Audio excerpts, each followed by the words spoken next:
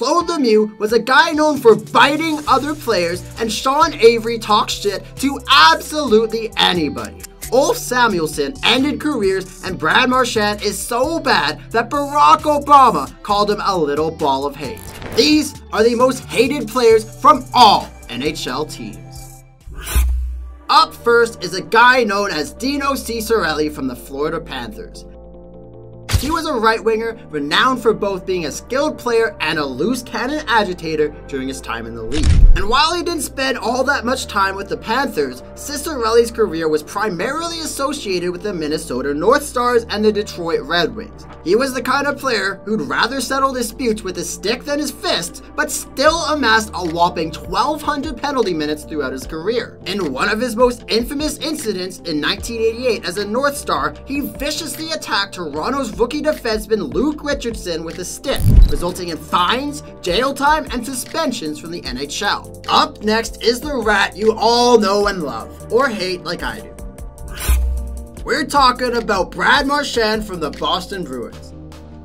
It's an undeniable truth facing Brad Marchand on the ice for two consecutive seasons is no picnic. Marchand clinched the title of the NHL's most disliked player to play against, as voted by the league. However, paradoxically, every team coverts him. Among the 626 NHL players surveyed, 36.5% cast their vote for Marchand, and this is a notable increase from the 26.4% he received in 2022. And this is when 566 players were polled by the NHLPA. Marchand stands out as one of the most impactful pests in NHL history. He's consistently topping the charts as both the best and the worst trash talker in the game from 2018 to 2020. Marchand embodies a diverse figure in the league, with eight suspensions under his belt and recently having a hefty fine for a dangerous trip an opponent. Marchand's notoriety only grows. What adds fuel to his fire is his top tier scoring ability. And this is despite all of his cheap shots, punching opponents, and even the bizarre attacks of licking faces. Notably,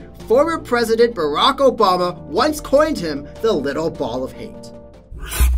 Up next is Matthew Barnaby of the Buffalo Sabres. Matthew Barnaby was a formidable presence during his tenure in the NHL, known for his willingness to engage in fights and his aggressive style of play. Over his 14 year career, he participated in an impressive 191 fights, earning him a spot on the top 20 on the list of the most penalized players in NHL history. Barnaby's reputation was a loose cannon, and it was solidified during a notorious incident on March 29, 1996. This is when the Buffalo Sabres faced off against the Flyers.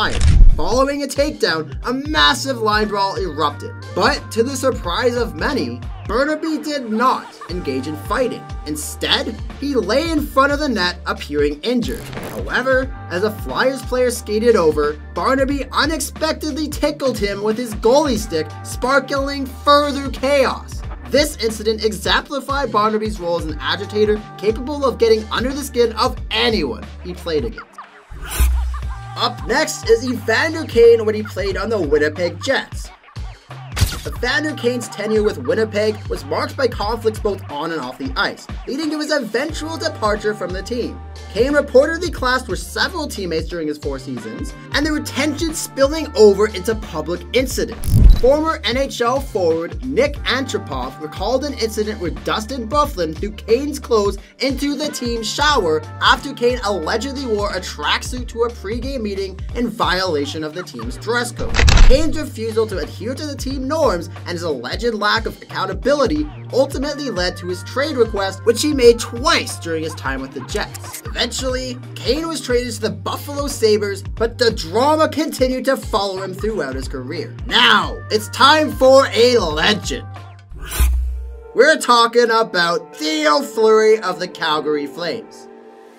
Despite being an undersized player with a stature of 5 feet 6 inches, he made a significant impact in the NHL with his fearless and physical style of play. However, off the ice, Fleury battled addiction issues and openly admitted to struggles with alcohol and drugs. In his book, Playing with Fire, Fleury made claims about the NHL's leniency toward him despite failing drug tests, attributing it to his status as a top scorer in the league. A notable incident occurred during a game against the San Jose Sharks on December 28th, where Fleury's addiction influenced his behavior on the ice, resulting in a major penalty and a game misconduct. Off the ice, Fleury reportedly engaged in a confrontation with the Sharks mascot, leading to the mascot's rib being broken. Despite Fleury's trash talking about the NHL, his actions have contributed to his reputation as one of the most disliked players in NHL history. If you're enjoying today's video, please leave a like and subscribe to our channel. Subscribe, subscribe, subscribe, subscribe, subscribe!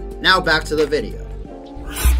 Bob Probert of the Detroit Red Wings is regarded by many as the greatest enforcer of all time. Bob Probert sits fourth in all-time penalty minutes with 3,300. Known for his fierce loyalty and protection of teammates, Probert served as an enforcer for both the Detroit Red Wings and the Chicago Blackhawks during the mid-1980s to the early 2000s. Beyond his fighting prowess, Probert showcased his scoring ability, tallying 62 points in the 1987-88 season, earning him a trip to the All-Star game despite accumulating 398 penalty minutes. Probert was a force to be reckoned with, often going head to head with some of the toughest, roughest hockey players you'd ever know, including Tie Domi, Wendel Clark, Marty McSorley, Stu Grimson, and Tony Twist. Now I know Marty McSorley is a definite candidate, but for the Edmonton Oilers, we got Ken Linseman, Nicknamed The Rat, Ken Linseman earned his moniker for good reason. Despite his pure skill, Linseman's reputation stems from his pest-like behavior on the ice. Playing for teams like Boston, Philadelphia, Edmonton, and briefly the Maple Leafs, Linseman rarely engaged in fights, but managed to accumulate 1,727 penalty minutes throughout his career, and this was mainly because of his agitating style of play. Linseman's on-ice antics, including incidents of assault, kicking opponents, and accusations of biting, earned him a reputation as one of the NHL's nastiest players. Despite the controversy, Linseman lived up to his nickname, leaving a legacy as a notorious pest in NHL history. Now this would not be a list of the most hated if Tiger Williams did not play on the Maple Leafs. Williams holds the distinction of being one of the all-time leaders in NHL penalty minutes, accumulating a staggering 3,966 minutes over 962 career games, averaging 4.12 minutes per outing. While Williams earned many of these minutes for fighting, he was known for engaging in altercations with opponents who were not typically fighters. Williams approached conflicts with a willingness to resort to physicality regardless of his opponent's reputation or style of play. This aggressive and confrontational approach made him the most hated player in the history of the most hated team. Now we're talking about Todd Bertuzzi of the Vancouver Canucks. He is wildly regarded as the most hated player ever to play on the Canucks because of his involvement in one of the most vicious attacks in NHL history. In 2004, Bertuzzi assaulted forward Steve Moore of the Avs in what appeared to be a premeditated ambush. This brutal incident effectively ended Moore's career and resulted in legal repercussions for Bertuzzi. He was charged with assault for attack and suspended for 13 regular season games and 7 playoff games. Additionally, he was suspended from international play for 17 months. Bertuzzi had a prior suspension in the 2001-2002 season for leaving the bench to join a fight, but the severity of Steve Moore incident significantly outweighed this previous infraction. Tuomo Ruutu of the Carolina Hurricanes is undeniably talented, possessing skills that made him a desirable asset for many teams. However, his talent does not translate to popularity among fans or opponents alike due to his reputation as a pest on the ice. Ruutu was notorious for engaging in unsportsmanlike conduct from targeting players like Nicklas Backstrom to causing injuries such as the incident involving Dennis Wideman. His aggressive playing style, characterized by elbows, spearing, slashing, and other actions aimed at gaining a competitive edge, often made him a source of frustration for opposing teams. Additionally, Ruutu was known for delivering thunderous open ice hits, hits that occasionally pushed the boundaries of the rulebook. As a result of his continuous behavior, Ruutu earned the distinction of being the most hated player in Carolina. Known as the Car Bomb. Daniel Carcillo earned a reputation as a scrappy and agitating player throughout his career. Drafted 73rd overall, Carcillo quickly made his mark as someone opponents wanted to avoid. His on-ice antics often led to his suspensions, including altercations with officials. Despite his controversial style, Carcillo won two Stanley Cups with the Hawks in 2013 and 2015. Since retiring, he has shifted his focus to advocacy, founding the Chapter 5 Foundation to assist players dealing with post-concussion syndrome. Next is a guy you've all been waiting for. Claude Lemieux of the Colorado Avalanche.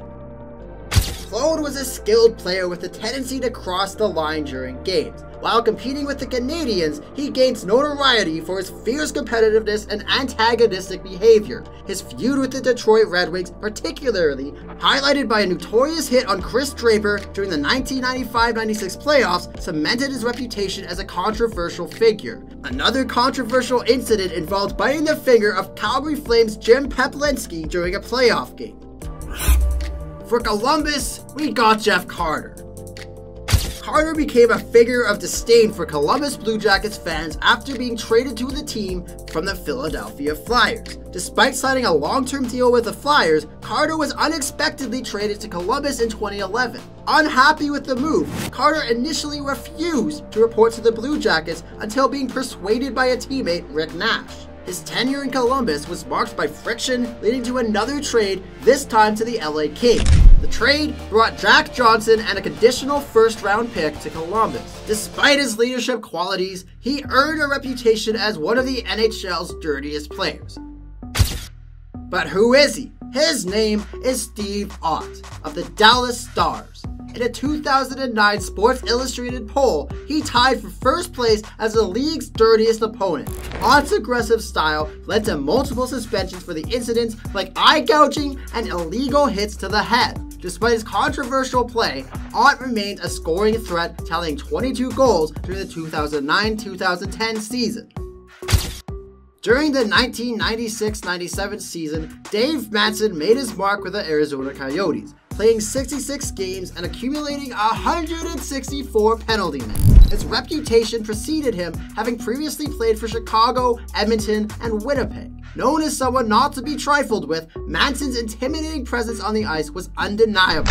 His illustrious career saw him amass a staggering 2,792 penalty minutes, keeping opponents on high alert whenever he stepped onto the rink. Manson's notoriety was such that he earned the nickname Charlie as a reference to the infamous Charles Manson. His aggressive style of play often resulted in penalties, with a standout season seeing him accumulate 352 penalty minutes while playing for Chicago. Throughout his career, Manson faced three suspensions, including two incidents of pushing a referee and one for biting Scott Stevens' hand. His penchant for the physical play and a penchant for controversy made him a figure to be reckoned with in the NHL.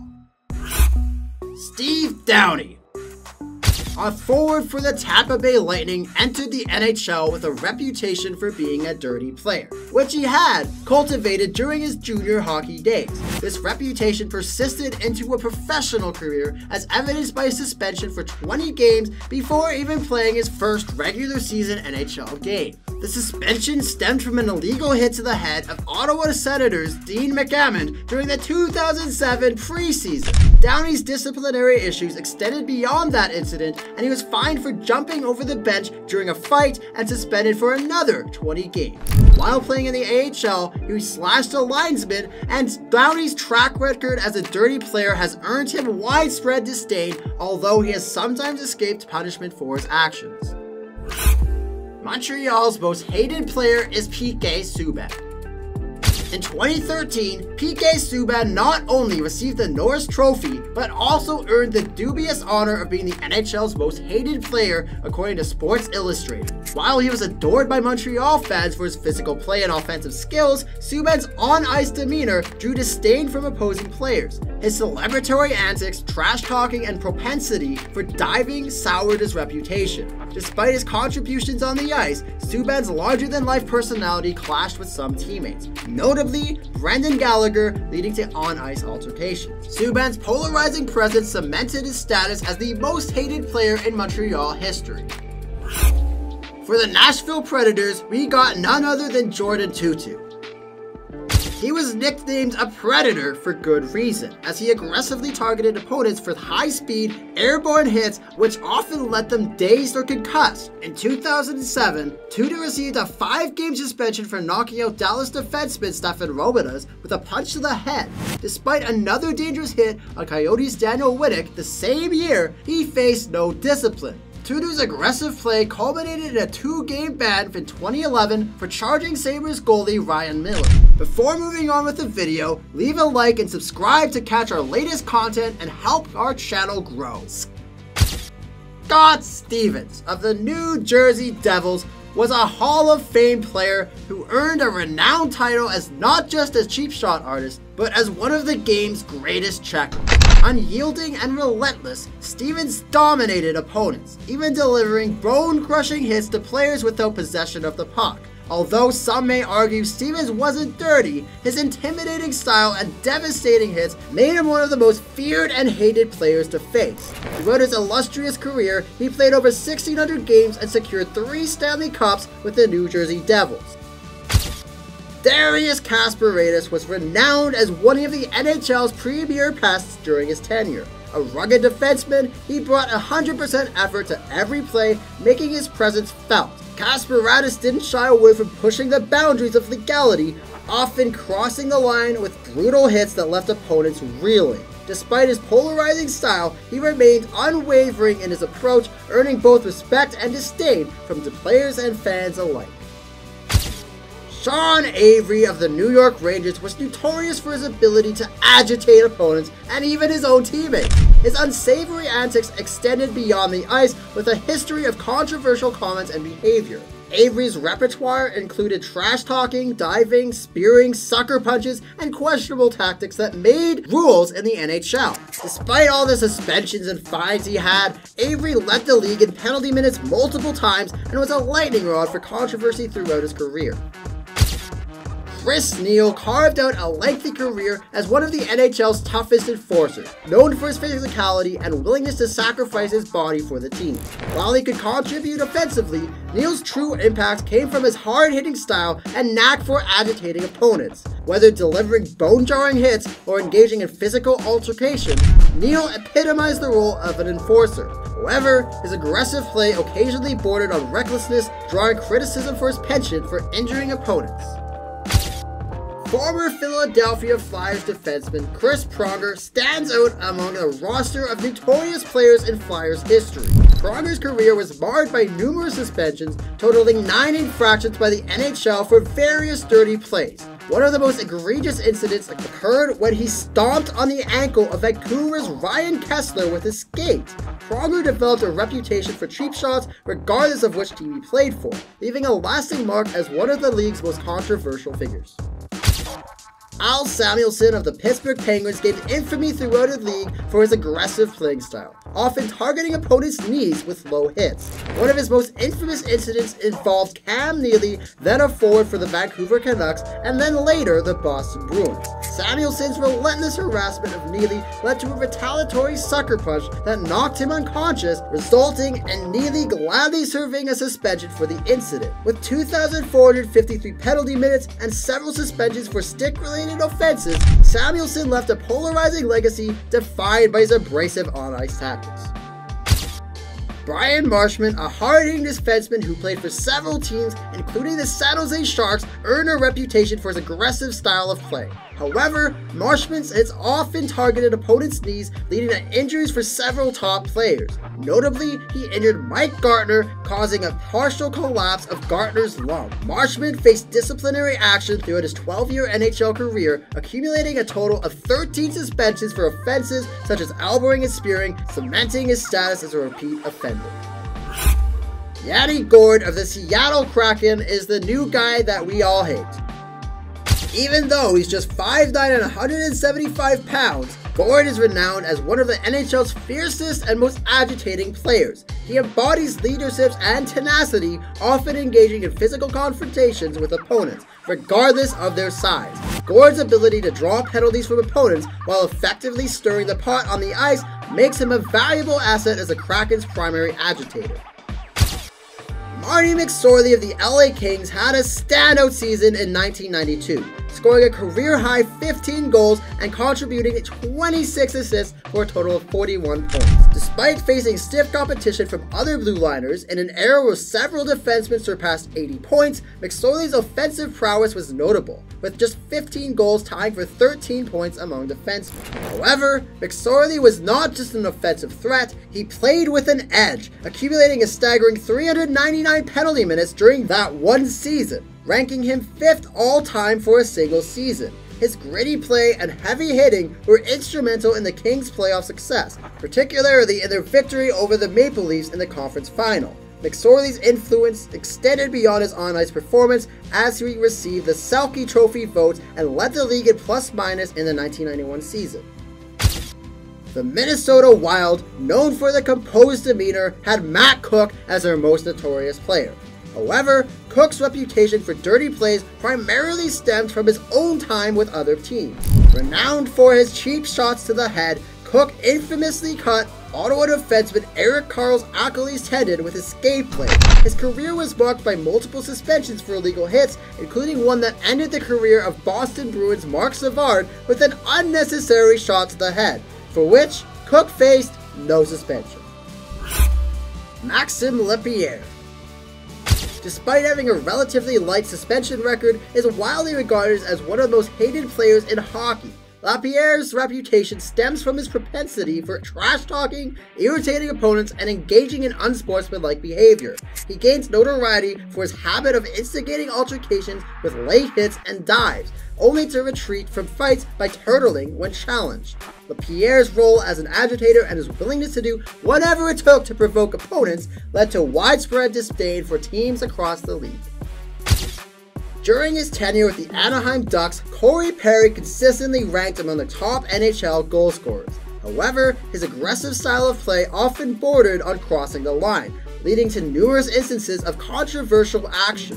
One notable incident occurred when Perry delivered a vicious slash to Edward Vasic's face while the defenseman was down in the corner. Additionally, there were instances of Corey Perry cross-checking Geno A. Barkov in the hamstring area and spearing Stars forward Jamie Benn during the playoffs, following a hard hit in the game. These actions underscore Perry's volatile temper and a penchant for questionable behavior throughout his career. Consequently, Perry finds himself without a team after being released by the Chicago Blackhawks. For many years, Ryan Reaves was known as a top fourth liner in the NHL, accumulating penalty minutes and delivering hard hits without regularly crossing the line. However, after joining the Las Vegas Golden Knights in the 2018 trade deadline, Reaves' reputation began to shift. He started to make headlines for negative reasons, with instances of late hits, hits to the head, and outright dirty plays resulting in serious injuries to opposing players. In the 2021 playoffs, Reaves laid out a dangerous hit on former Minnesota Wild defenseman Ryan Suter, leaving him injured on the ice.